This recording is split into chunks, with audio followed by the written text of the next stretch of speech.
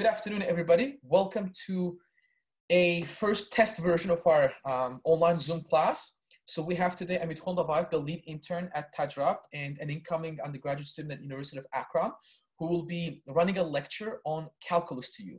This calculus lecture will take place in Russian language, and it is based on the materials of MIT OpenCourseWare uh, Amit Khon uh, will be studying computer science in university. So uh, as a future you know, computer science student, he understands the fundamental role that mathematics education plays in uh, your technical future. So I'm very glad to have Amit Khon on our team. And as the leader for this class, he'll be taking over momentarily. I hope you guys will enjoy this class. And at any point in time, if you have questions, you can submit them through the chat, or you can raise your hand by clicking the raise your hand button. Throughout this conversation, Amitron will also uh, be assigning activities and you will be able to join the breakout rooms for those uh, when the activities are about to start. Amitron, you have the floor. Good luck. Thank you very much. Now let's start the lesson. Uh, сегодня наша тема применение производных к исследованию функций и построению графика функций. Этот урок будет на русском языке. Давайте перейдем к плану сегодняшнего нашего урока. На сегодня в нашем уроке uh, мы поговорим о компонентах исследования функции, какие компоненты бывают для изучения, для исследования функции. Второе. Применение производных к исследованию функции. Uh, так как мы уже знаем, как вычислять производную, теперь мы применим знания наш, наши знания о производной к исследованию функции. Uh, мы изучим два признака. Признак возрастания и убывания функции и критические точки точки максимума и минимума. А, а, последнее применение производной к построению графика функции. И в конце, а, в конце мы, а, благодаря нашим исследованиям а, и начертим а, график функции.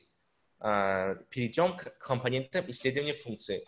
На сегодняшнем уроке изучим следующие компоненты. Область определения, область значения, нули функций, промежутки возрастания, убывания и точки максимума и минимума. А, давайте а, перейдем к изучению этих компонентов на примере а, функции y равно x квадрат минус 7x плюс 10. Графиком этого, этой функции будет являться парабола. Ветви будут направлены вверх, так как коэффициент при x положительное число. Здесь начнем с области определения. Область определения – это все значения, x, а, все значения, которые может принять x. То есть мы а, видим а, промежуток от минуса бесконечности до плюса бесконечности. То есть x может быть абсолютно любым числом. Другой компонент – это область значения. Область значения – это все значения, которые может принять y. На графике мы видим, что а, область значения, область значения начинается от минуса 2,25, причем эта точка входит в область значения, и она а, две ветви продолжается до плюса бесконечности, и этот промежуток будет являться областью значения. А, следующий компонент – это нули функции. Нулями функциями мы будем называть а, точки пересечения а, графика функций с осями координат. На этом графике мы видим точки пересечения с осью OX. Это точка 2 и 0, и точка 5 и 0. И также, если мы продолжим а, график, мы можем увидеть то, что этот график будет пересекать ось OY в точке а, x0 и y будет равно 10. Или же мы можем просто математическим способом, а, подставив 0 вместо x, а, вместо, функции, вместо функции, формулу функции, и найти эти значения. Следующий, следующий компонент – это промежутки возрастания и убывания.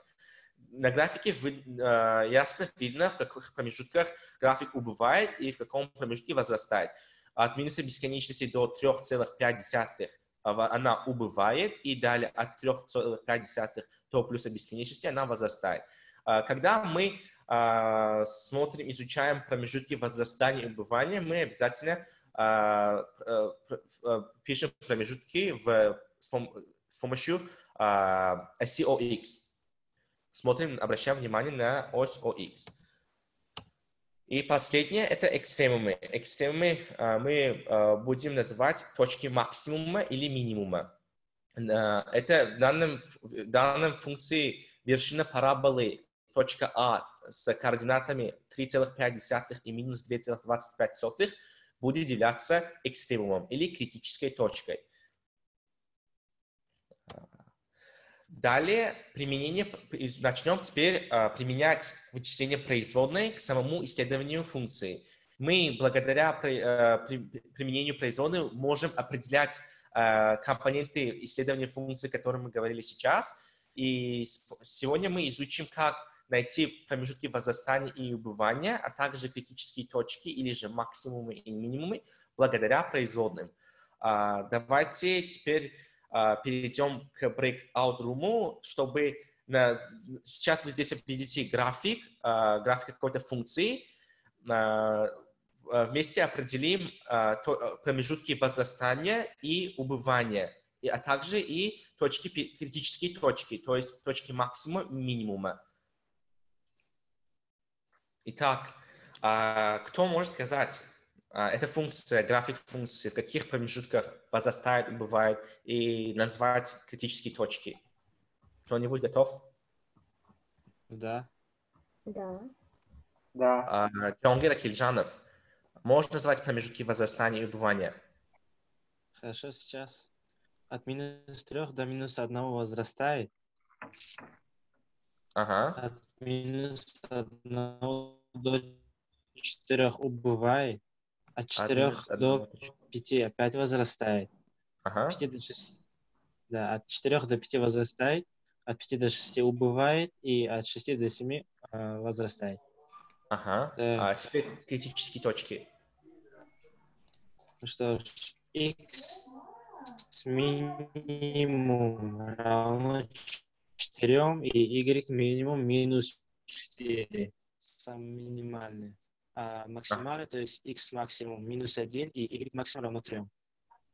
А остальные критические точки можно назвать другие? Есть еще, еще есть другие точки минимума и максимума? Да, то есть это 5 и минус 2, это вторая ага. максимальная. И вторая минимальная это 6 и минус 3. Угу. А, все верно, это были критические точки или точки максимума минимума, и Джонгер правильно назвал промежутки а, возрастания и убывания а, этого графика функции. Тогда перейдем дальше. Следующий, признак, э, следующий это признак возрастания и убывания функции.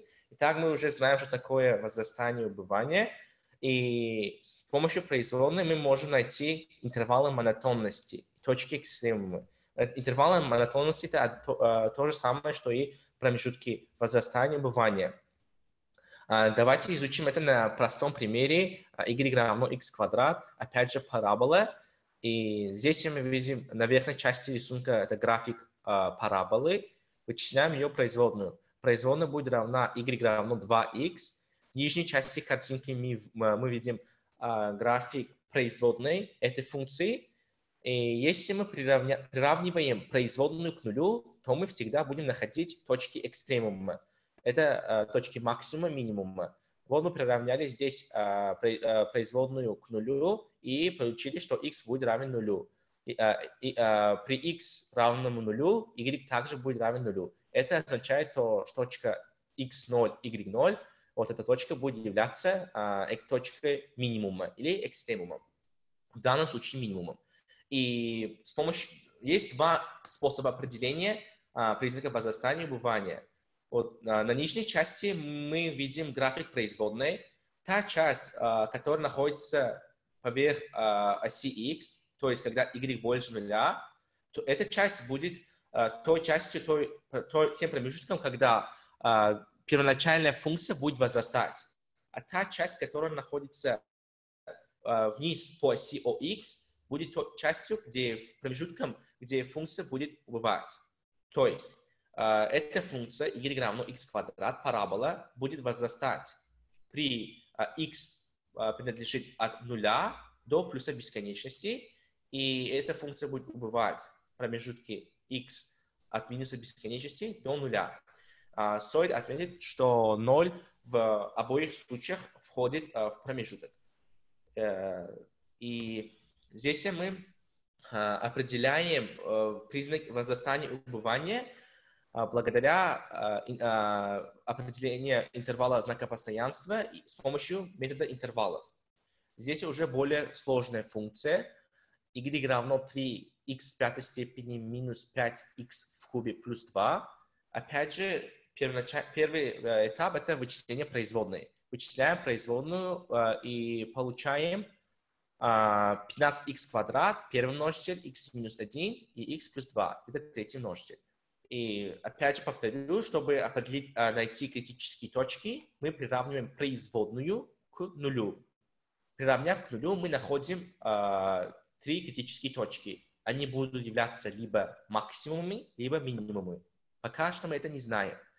Теперь э, нашли критические точки. Теперь эти критические точки мы отметим э, на э, COX, то есть на интервале.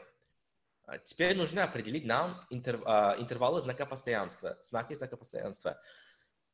А, мы в этих промежутках берем любую цифру и подставляем в производную.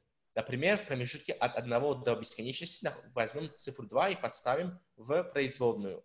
И в результате у нас будет положительное число, или же число больше нуля. Значит, это ставим плюс. Итак, определяем каждый интервал. В результате, определив знаки постоянства, мы определяем, определяем признак возрастания и убывания. Там, где знак плюс, это означает, что в этом промежутке функция возрастает. А там, где стоит знак минус, это промежутки убывания. Итак, мы вот видим все данные, которые мы э, получили в прошлом слайде, мы э, вставим в таблицу, и в итоге у нас получится, что там, где знак плюс, это, а, опять же, э, промежутки возрастания, это будет от минуса бесконечности до минус единицы и от единицы до плюса бесконечности. И, э, фу, э, и убывает там, где минус единица э, до нуля и от нуля до единицы. Это промежутки э, убывания. Также мы здесь э, уже э, имеем э, критические точки. Критические точки это минус 1, 4. И здесь мы уже определили, если перед, если знак постоянства меняется от положительного к отрицательному или от плюса к минусу, то это будет знаком критической точкой максимума. А если же знак меняется от минуса к плюсу или от отрицательного к положительному, то это будет э, точкой минимума. И благодаря всем этим данным мы можем начертить э, сам график. Вводим все данные. Сначала все критические точки максимум, минимум, минус 1 и 4. Как мы уже сказали, это точка максимума. Точка э, 0 и 2 это будет точка минимума. Э, э, и точка 1 и 0 также будет являться точкой минимума. И э, Э, соединим эти точки благодаря признакам возрастания и убывания. От минуса бесконечности до единицы функция возрастает, от минуса единицы до нуля убывает, и от нуля до э, единицы опять убывает, и от единицы до плюса бесконечности функция возрастает. Благодаря этим данным, вычислению производной, приравняв нулю, а также нахождение а, знака постоянства, мы можем определить а, исследовать функцию и благодаря исследованию начертить а, график а, функции.